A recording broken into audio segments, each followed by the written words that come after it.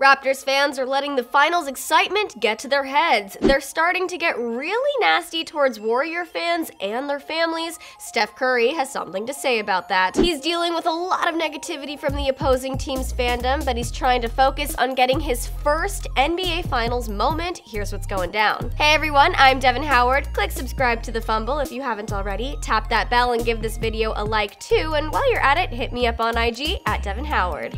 Yesterday, we filled you in on how some Raptors fans came for Steph Curry's mom, Sonya. She was just there, supporting her son, when she was greeted by hordes of aggressive fans, and they started dropping F-bombs on her. Okay, look, I usually like to keep things peaceful, but I kind of get trash-talking players on an opposing team.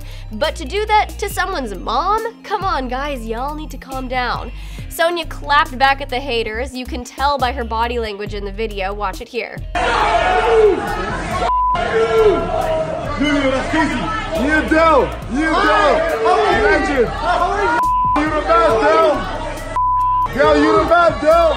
This all just happened after a fan made sexually explicit comments about Ayesha Curry and was later arrested. Okay, what is going on here? I thought Canadians were supposed to be so nice and so polite. I guess the pressure of the games is just really kicking things up a notch for the fans, and Steph Curry has something to say about that. When asked about the heckling his loved ones have received, he said, I think it's kind of stupid to be honest, in terms of people camping outside our hotel just to yell expletives at either us or our family members or whatever the case is. He also blames his team's final success as a reason why supporters of the opposing team try so hard to be so negative. He said, quote, I think in terms of being in the finals five years in a row and being on this stage, it's hard to avoid those interactions with fans that want to kind of make their imprint on the series somehow in some way, especially with social media these days. Although he's used to the negative attention, he says it's taken on a new life in the finals,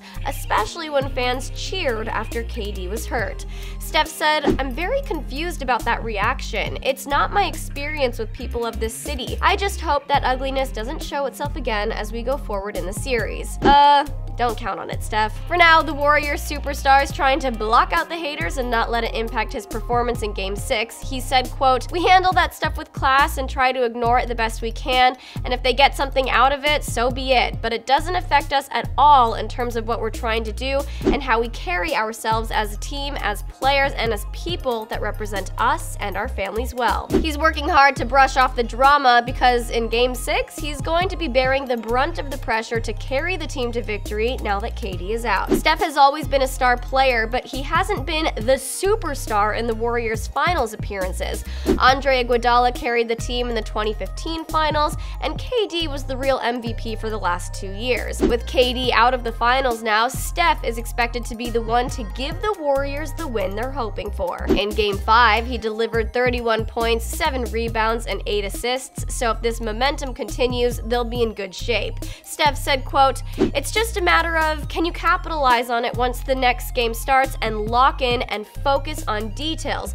See the adjustments the other team is going to make, especially in the playoff series, because that happens. They watch film, they try to tinker a little bit, and just confidence in terms of what we're trying to accomplish every possession, every quarter in order to win the game. He's got a powerful lineup backing him too. Clay, Draymond, DeMarcus, but ultimately we need Steph to drop 30 or more a night to beat the Raptors. Steph says that tonight they're playing for KD and honoring, quote, the sacrifice he made in terms of putting his body on the line. So tonight the Warriors are, quote, going to give everything we got. I would like to say I would guarantee the win, but who knows how it's going to end up. But we're going to give everything we got. We're going to fight. We're going to compete. In other words, we're in for another explosive game. Who do you think is going to win tonight? Sound off in the comments. Don't forget to subscribe and come back to our channel later for more sports news videos.